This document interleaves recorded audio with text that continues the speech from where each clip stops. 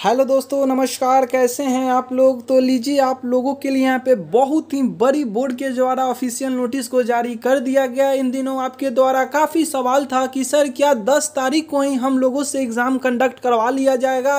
तो यहाँ पे एडमिट कार्ड तो आप सभी का आ गया था और आप सभी का यहाँ पे दस तारीख को ही एग्ज़ाम कंडक्ट करवा लिया जाता। बिहार पॉलिटेक्निक बिहार पैरामेडिकल ठीक है? बट यहाँ पर इन जिन भी विद्यार्थियों ने फॉर्म को फिल किया है, बिहार पॉलिटेक्निक बिहार पैरामेडिकल उन सब सभी का डेट एक्सटेंड कर दिया गया है। आप लोगों की जो भी एग्ज़ाम की तिथियाँ थी, उसको अब यहाँ पे एक्सटेंड कर दिया गया है। हाँ जी तो यहाँ पे देखिए अभी अभी बहुत बड़ी ऑफिशियल नोटिस को यहाँ पे जारी किया गया है। आप सभी को इस ऑफिशियल नोटिस को मैं दिखाऊँगा लाइव प्रूफ के साथ बताऊँगा। तो जैसा कि आप सभी इस वक्त देख सकते हो कि Bihar combined entrance competitive examination board की ऑफिशियल वेबसाइट में हूँ और यहाँ पे आप सभी यहाँ पे लेटेस्ट अपडेट में आप लोग देखिए दोस्तों, क्या कुछ लिखा हुआ आ रहा है। हाँ जी, यानी important notice regarding reschedule examination date of DCCP PP PM PMM 2022 हाँ जी, यानी आप लोगों का यहाँ पे आज दो तारीख है। आज ही यहाँ पे इस नोटिस को यहाँ पे पोस्ट किया गया है। तो आइए इस नोटिस को ओपन किया जाए और इसमें देखा जाए क्या कुछ आप सभी के लिए लिखा हुआ इसमें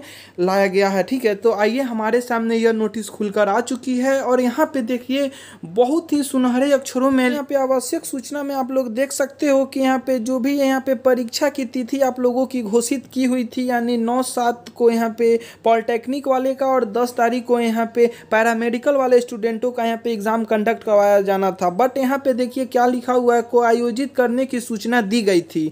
इसे अपहरण कारणों से स्थगित करने हेतु पुनः निर्धारित किया जाता है। हाँ जी, यानी इस चीज़ को यहाँ पे स्थगित कर दिया गया है पोस्टपोन्ड कर दिया गया और इस डेट को फिर से रिशेड्यूल यहाँ पे कर दिया गया है। आप सभी का कब यहाँ पे, किस दिन अब आप लोगों को जाना है एग्ज़ाम हॉल में और आप सभी को एग्ज़ाम देना है। इसके लिए आप सभी को जो भी डेट आप लोगों की बताई गई थी, उस डेट को यहाँ पे एक्सटेंड कर दिया गया। Bihar polytechnic part time polytechnic इन सभी का यहाँ पे नौ तारीख को होना था, लेकिन इस डेट को चेंज कर कर कितना कर दिया गया तो तीस तारीख कर दिया गया है। हाँ जी, यानी आप लोगों का यहाँ पे तीस तारीख को यहाँ पे होगा एग्ज़ाम और बात किया जाए पैरामेडिकल वाले स्टूडेंटों का तो यहाँ पे देखिए इनका यहाँ पे दस तारीख था तो यहाँ पे इन लोगों का अब इकतीस तारीख कर दिया गया है। तो चलिए बहुत ही यहाँ पे खुशी की बात है आप लोगों के द्वारा। काफ़ी यहाँ पे पूछा जा रहा था कि, सर, क्या डेट एक्सटेंड होगा? क्या सर कैंसिल होगा? तो हाँ जी, आप लोगों की जो सोचे थे वो यहाँ पे पूरा हो चुकी है और यहाँ पे डेट को आखिरकार एक्सटेंड कर दिया गया है। तो एक बहुत ही बड़ी अपडेट है, आप लोगों की तैयारी और भी बेहतरीन हो सकती है,